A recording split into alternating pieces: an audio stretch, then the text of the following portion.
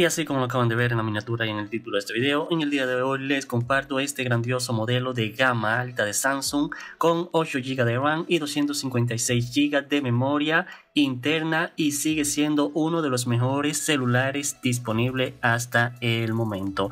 Así como ya ustedes saben, Samsung es una de las marcas más importantes en el mercado de celulares y este año compite con Apple mediante el Galaxy S24 Ultra, su equipo más potente que cuenta con el procesador Snapdragon 8 generación 3, cámara cuádruple de 200 megapíxeles e inteligencia artificial.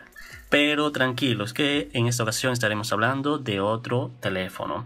A lo largo de los años Samsung ha lanzado diversos modelos emblemáticos y uno de ellos se ha vuelto muy popular debido a su alta calidad a pesar de haber sido lanzado hace tres años mi gente. En esta ocasión estamos hablando acerca de el Galaxy S21 lanzado en el 2021 y sigue siendo mi gente relevante como uno de los mejores gama alta a bajo precio, así como escucharon a un bajo precio.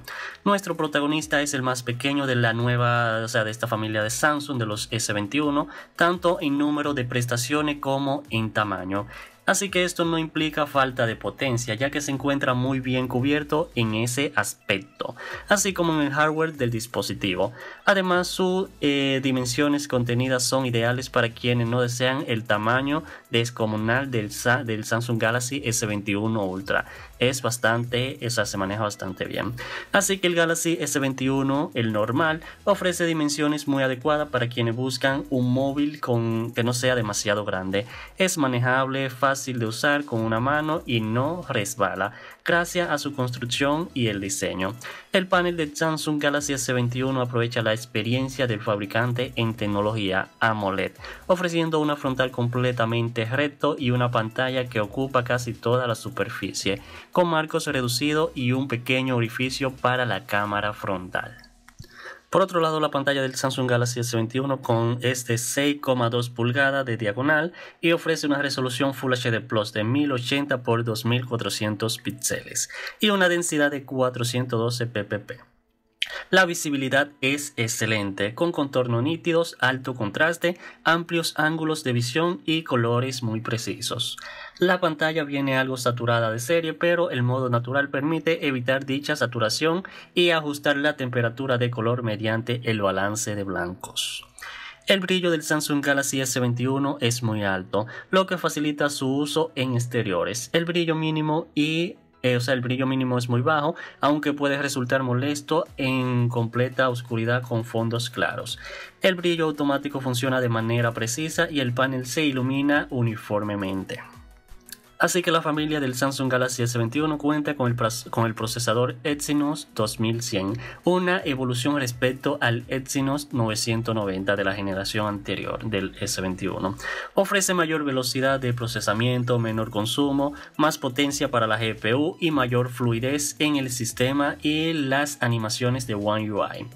En nuestra experiencia el teléfono es muy potente, con un rendimiento rápido en todo, en todo momento, sin retrasos notables en la multitarea y con un alto nivel gráfico en los juegos, mi gente, para esos que les gustan los videojuegos.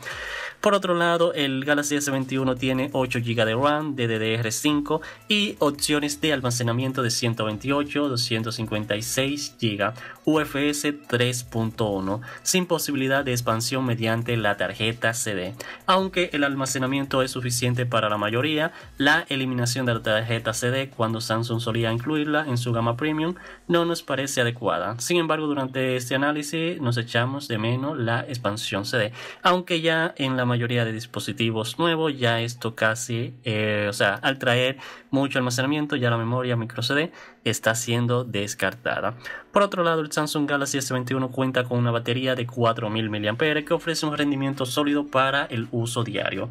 No tendrás que preocuparte de que el móvil se quede sin batería antes de terminar el día a menos que se use intensivamente para juegos, ya que el procesador a máximo rendimiento y la pantalla pueden consumir bastante energía.